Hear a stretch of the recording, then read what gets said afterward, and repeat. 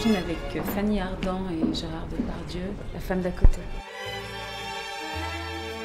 J'aime beaucoup Paris, Texas, Mouchette de Bresson et un ami américain de Wim Wenders. Mouchette, euh, Mouchette, lorsque cette petite fille tombe dans la rivière avec sa robe blanche, parce que c'est une petite fille qui, qui, vit dans la misère et puis d'un coup, elle, arrive finalement à être une petite fille comme les autres, même une sorte de, princesse et de rêve. Et c'est tellement trop propre pour elle qu'elle va se faire rouler dans la boue et, elle va tomber dans, la rivière, elle va, elle va en mourir. Ça, ça m'a vraiment marqué. Ça peut être le guépard, le mépris aussi, c'est sublime soit trop, trop acteur ou trop actrice. Moi,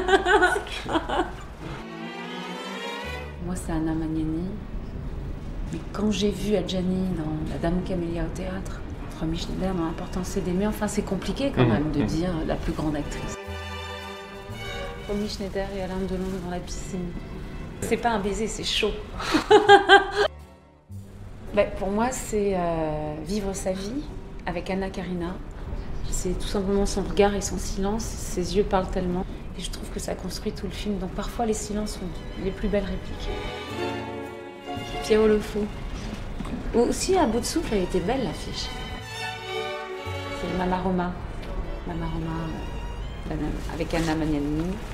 Parce qu'elle marche euh, dans la rue et elle, c'est une prostituée. Elle attend euh, que les voitures s'arrêtent. Les voitures ne s'arrêtent pas. Elle n'arrive plus à travailler. C'est poignant, ce film incroyable. Et Dieu crée la femme.